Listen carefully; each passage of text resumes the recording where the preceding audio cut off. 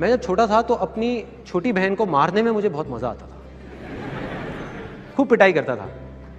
और जब भी उसको मारता था तो जा करके मेरे पापा को बढ़ा चढ़ा के बता देती थी। मतलब मारा मैंने एक जा करके दस बताती थी। अरे मारा, यहाँ भी मारा। मैंने कहा, यहाँ कब मारा तेरे? झूठ बोल रही है? नहीं मारा। उधर से पापा आते थे ऑफ़िस से थके हुए, गुस्से में आ करके मेरी क्लास शुरू। डेली का था ये, रोज का था आ करके तू बेवकूफ़ है क्या? तेरे दिमाग में गोबर भरा हुआ है क्या? तेरे को समझ नहीं आता। तेरे को कितनी बार समझाया है कि नहीं मारते छोटी बहन को, नहीं मारते। अरे, लात नहीं मारते, लक्ष्मी का रूप होती है।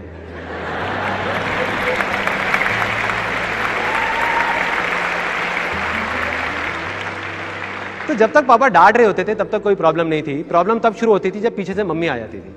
तो कहती थी पापा को आ करके, देख करके, तब तक पापा मेरे को डांट रहे होते थे।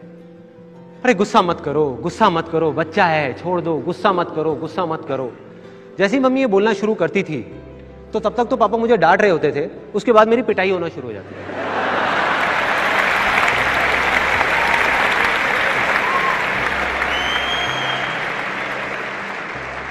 मैं मनी मन सोचता था कि मम्मी आप मुझे बचाने आए हो पिटवाने आए हो? क्या कर रहे हो? मम्मी जितना कहती थी, गुस्सा मत करो, गुस्सा ना करो इसमें मैं, थोड़। इसकी हरकत ही ऐसी है थोड़ ले।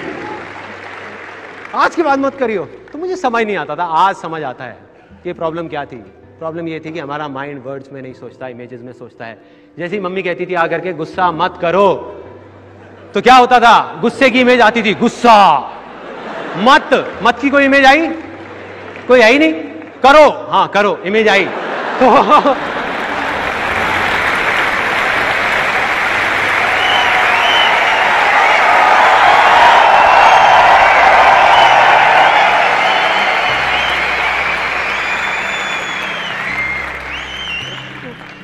वो बेचारी मेरे को बचाने आती थी और मुझे पिटवा के चली जाती थी। ऐसे ही अगर कहीं पे कोई लड़ाई हो रही हो रेड लाइट पे आपने देखा होगा, जब तक दो लोग लड़ रहे होते हैं, अबे मैं तेरा ये कर दूँगा, तू जानता नहीं है मैं कौन हूँ। अबे तू नहीं जानता मैं कौन हूँ। अबे तू नहीं जानता। साइड में कोई एक आदमी आता है, कहता है, ओए, मारना मत मारना मत मारना मत, मारियो मत।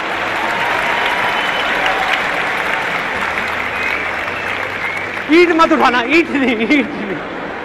वो ईट उठा के तो मैं कहता हूँ, बुरा मत देखो, बुरा मत बोलो, बुरा मत सुनो। अगर ये नहीं करना तो क्या करना है? बहुत सिंपल है। इसकी जगह पे बोलना है अच्छा बोलो अच्छा देखो और अच्छा सुनो।